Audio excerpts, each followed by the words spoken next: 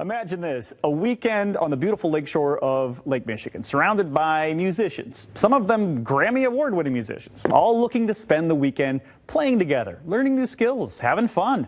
The third annual Great Lakes Music Camp is coming this fall, and now is the time to get signed up. Jason Wheeler is the executive director of Great Lakes Music Camp. Joins us this morning to tell us all about it. Hi, Jason. How are you doing? I'm Thanks for having me. Absolutely, our pleasure. Talk a little bit about Yeah, the camp for those who might not be familiar with Great Lakes Music Camp. Sure thing. So, Great Lakes Music Camp was started in 2017. Um, the, the basic premise of it was to provide a unique educational experience to people who are studying or interested in traditional music and contemporary music. So, um, the majority of our program revolves around uh, acoustic, you know, so mandolin, guitar, bass, um, these types of instruments that you see, you know, people playing in circles around campfires or, you know, that our grandparents used to play. Yeah. Um, there's a lot of history in that music that ties back to a lot of um, people's stories and their families and things like that. So there's a big community element to what we do.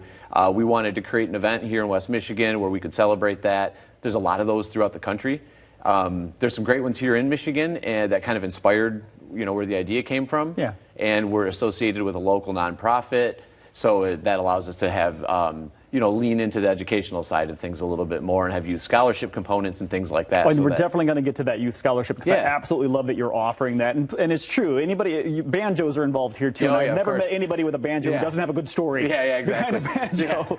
So who attends this camp? Is this is this for somebody who's uh, just thinking about maybe learning how to play the guitar, or somebody who's a, a, a jam session person? It's for all of the above, yeah. So we, we do have a ton of musicians who are actively, you know, say performing or they're teaching instructors at other music schools, universities, right down to, hey, my nine year old son is interested in the guitar and is there a place for him there? So the answer is yes, it's for everybody. We design the track so that there's beginner, intermediate, and advanced courses through the day, through the whole weekend. Um, there's several different instruments, so there's some opportunity. If you didn't even know what you were really into and you brought two or three of them along, we can facilitate uh, education on multiple platforms there. So I would say it's for anybody who has a genuine interest in um, this type of thing, in traditional or contemporary acoustic music. I like this because it's kind of um, when you're learning a new language, Yeah. you, you want to immerse yourself, Yep. right? We're only speaking that language. That's this exactly is this this is an immersion weekend. Correct. And, and I think it, it breaks down some barriers that I felt as a musician coming up. Um, it offers an opportunity to kind of connect with your musical heroes. So any, if, if you're not a musician, but you, you know, you're trying to liken this to something else, say you're an athlete, this is your opportunity to sit with you know, your favorite athlete and pick their brain and learn some skills in the process. So there's, there's this inspiring component that we hope they take out of camp and um, continue their educational process. And then there's also just the, the unique experience that we want to offer that helps to put West Michigan on the map as a, a music hub in the United States. Absolutely, take that, Nashville. All Yeah, right, we're- exactly. Yeah, yeah, we're coming for you. exactly Yep. what I was thinking. Yep. Now let's talk about this youth scholarship program because there are many different ways to get in this camp. And we're talking the price can get upwards of nine hundred dollars depending Yep. on on if you're going to stay or you're going to eat.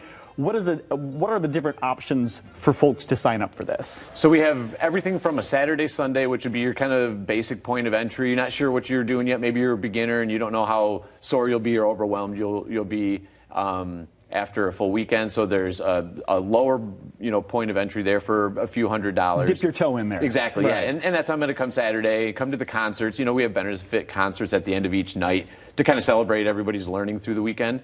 There's student performances. So if you wanted to get deeper involved in the camp and say uh, you want to be uh, performing, um, then you would want to sign up for the whole weekend. And we have several tiered packages that would take you right up, as you said, from on-site lodging at Camp Blodgett.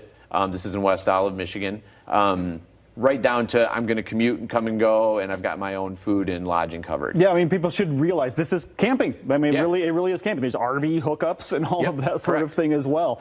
So, if you want to get involved, where can we go and get more information to get people? Because this is this is coming this fall. It's- yeah, we we got a little this- bit of time here. Yeah, so and I really appreciate you guys giving me the platform to discuss it with this ramp up.